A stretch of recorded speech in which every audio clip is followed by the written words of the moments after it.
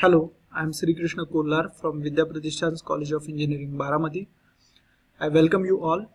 In this video, we will learn about baud rate setting for serial communication in 8051 microcontroller. To start with, first of all, we will see the need of serial communication. Basically, the data can be transmitted in two ways. One is parallel and the other one is serial. In case of parallel communication, the data is transmitted one or several bytes at a time. To do that, 8 or more parallel lines are required to transmit the data. In case of parallel communication, a large amount of data can be transmitted in a short amount of duration, but it can cannot be used over a long distance and the reason behind it is that parallel wires are more prone to damages and ultimately to the loss of data. So serial communication is used to transmit data over a long distance. In case of serial communication, the data is transmitted one bit at a time in terms of either 0 or 1. So it is difficult to make sense of data unless the sender and receiver they are agreed upon some set of rules on how to package the data and this is known as framing. In data framing, the data or an ASCII character it is framed between start and stop bit. The start bit is always a single bit whereas the stop bit can be one or two bits. Also the start bit is always active low whereas the stop bit is always active high.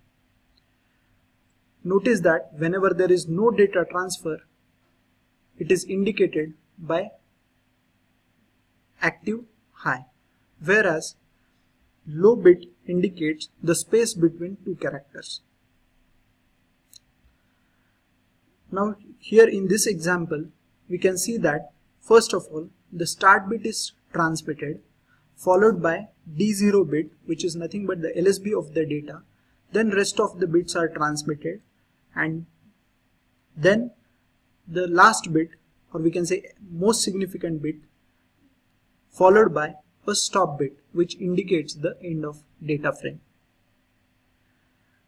Now since the data is transmitted one bit at a time in serial communication, the term known as baud rate is very important and it is defined as the rate of data transfer in bits per second.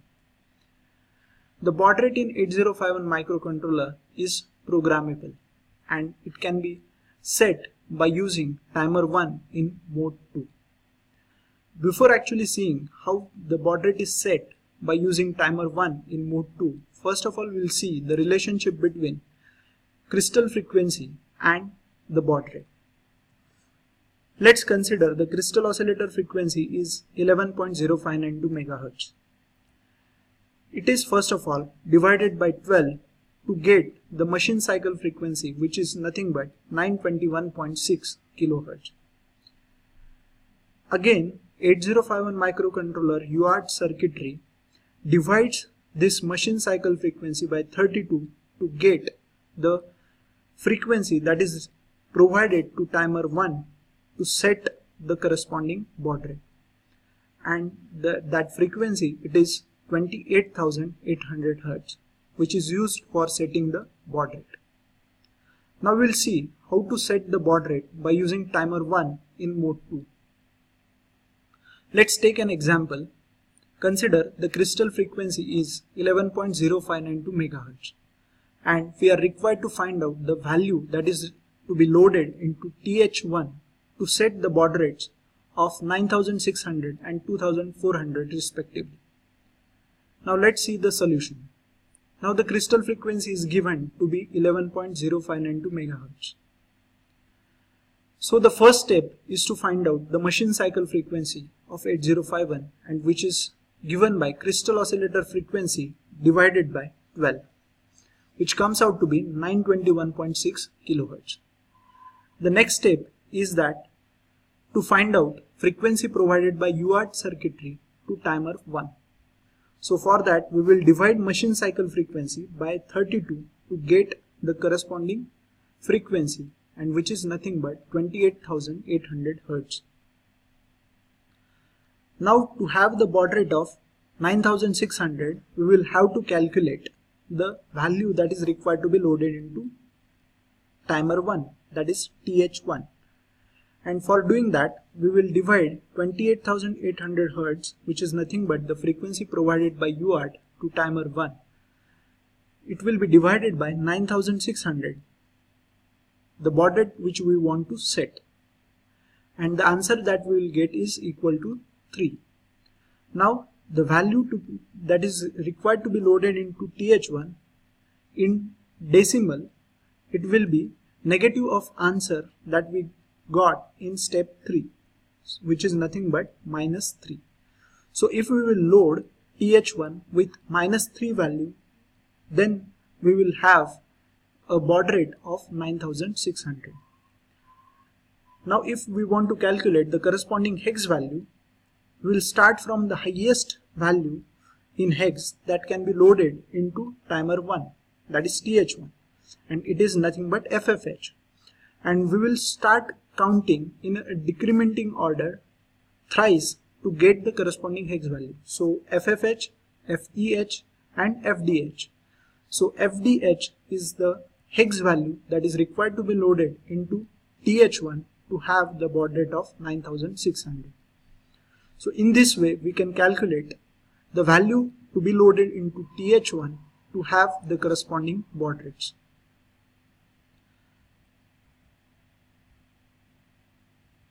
In same way we can find out the value that is required to be loaded into timer 1 to have the baud rate of 2400. Now first two steps will be same as in previous example. Now here we will divide 28,800 Hertz frequency which is nothing but the frequency provided by UART circuitry to timer 1. We will divide this frequency by 2400 which is nothing but the baud rate that we want to set and we'll get the answer equal to 12. So the value decimal value which is required to be loaded into TH1 is nothing but minus 12 to have the baud rate of 2400 bits per second.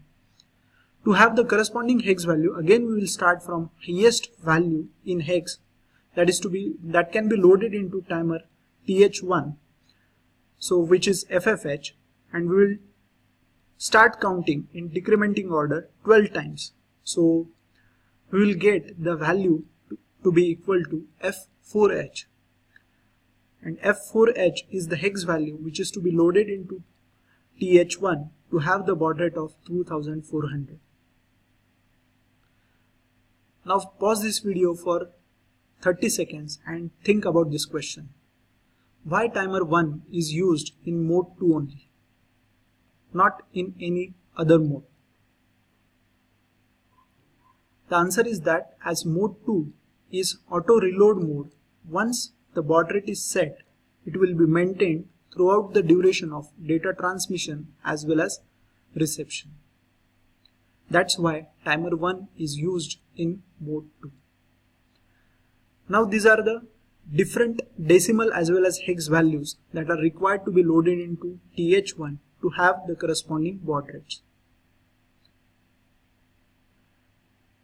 This is the reference book by Muhammad Ali Mazidi on 8051 microcontroller and embedded systems that I have referred for preparing the contents of this video.